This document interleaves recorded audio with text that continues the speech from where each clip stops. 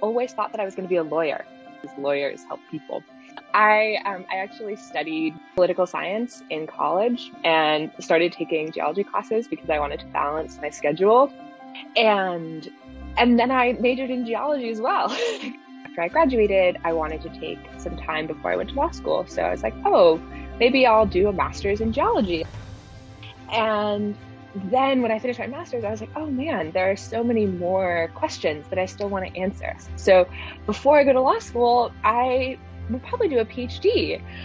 This is what I love. Like I, I love science.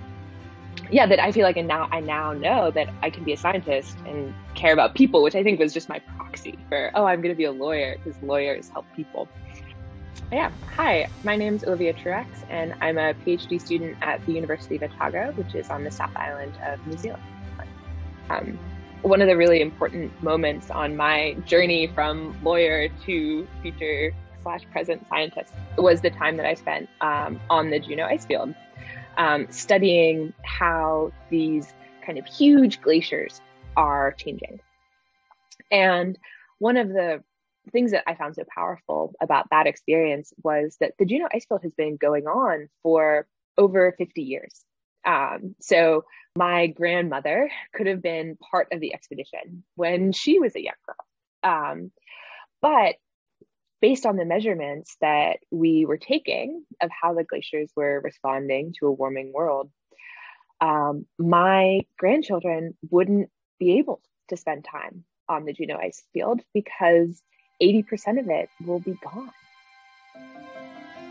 I'm studying past climates in Antarctica. So, what that looks like is I study the ocean sediments around the continent to try to reconstruct how the ocean behaved um, during the past.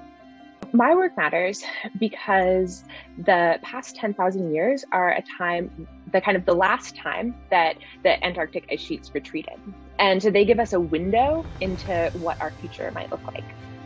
And so what my geologic records do is they take these measured data sets from satellites and from folks wandering around with things to measure, and they extend them back in time.